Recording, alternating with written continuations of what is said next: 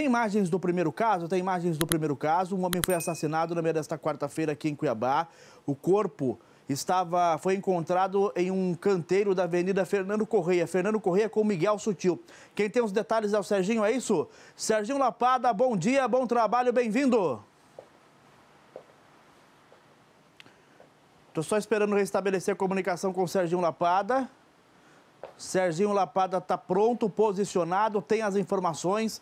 Estou só restabelecendo a comunicação com ele para que ele possa compartilhar com você todos os detalhes, todos os detalhes. Enquanto isso, imagens na tela do repórter cinematográfico Daniel Alves, corpo que foi localizado na região da Fernando Corrêa. Esse aí é o viaduto da Fernando Corrêa com a Miguel Sutil, é isso? Exatamente isso, né? Serginho Lapada, agora sim, comunicação restabelecida. Bom dia. Bom dia para você, meu amigo Trindade. Bom dia para toda a audiência do SBT Comunidade na Baixada Cuiabana. Pois é, Trindade, logo pela manhã, ali na Avenida Fernando Correia, que liga a Avenida Miguel Sutil, em Cuiabá, um homem foi encontrado morto no canteiro central. As primeiras informações é que ele pode ter sido morto ali mesmo no local ou também ter vindo correndo e caído no canteiro central. A polícia investiga porque ele foi morto com ferimentos, foi encontrado ferimentos é, por arma branca. O doutor Olímpio, que é o, delegado que atendeu essa ocorrência, ele acredita que este homem, que ainda não foi identificado, tenha sido morto por arma branca, Trindade.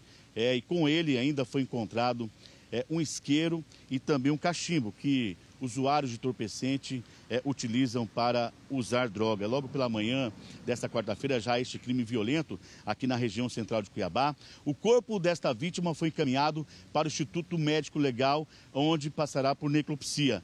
A equipe da Polícia Civil, a DHPP, tenta também é, localizar familiares, parentes, tenta identificar esta vítima e o crime vai ser investigado. E as câmeras ali de monitoramento da região central de Cuiabá e também de comércio vão ajudar a polícia a identificar o autor deste homicídio hoje na, aqui em Cuiabá, na região central.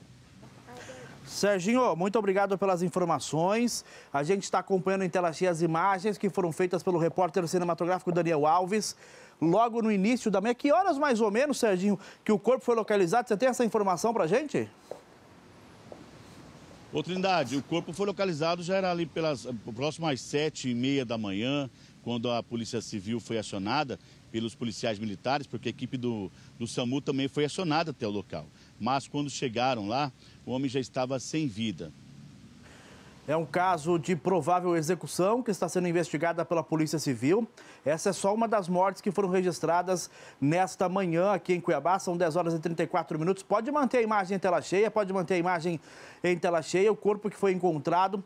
E aí existe duas, duas possibilidades, né, Serginho? Que ele tenha sido executado aí ou que ele tenha sido executado em outro lugar e jogado nesse canteiro, né?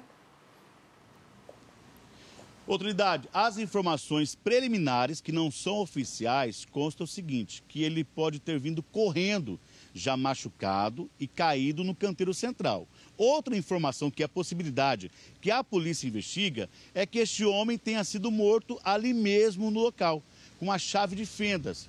São pessoas ali que ficam na região central, Trindade, infelizmente usando droga a noite toda. E aí qualquer situação ali de briga já termina com esse tipo de ocorrência. Serginho, muito obrigado pelas informações. A gente começa o jornal. Você até percebeu que a gente começou num ritmo acelerado, muita correria aqui, porque amanhã foi movimentada. Só esta manhã, três mortes foram registradas aqui em Cuiabá. Essa foi a primeira morte registrada, um provável homicídio, uma provável execução.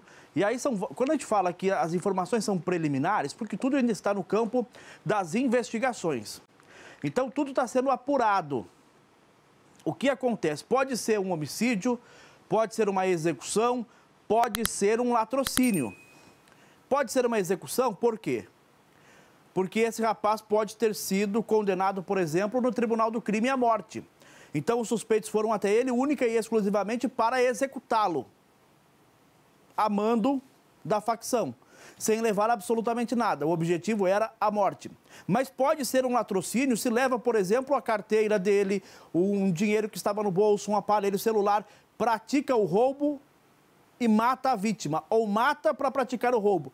Então já sai de execução e passa a ser latrocínio e as penas do Código Penal brasileiro são diferentes para estes tipos de crime. Então, é, é, são informações preliminares porque todas estas possibilidades estão sendo apuradas pela Polícia Civil. E aí, claro que câmeras que fazem o monitoramento da região podem ajudar na identificação da vítima, na identificação dos suspeitos e também nas motivações do crime. Nas motivações do crime.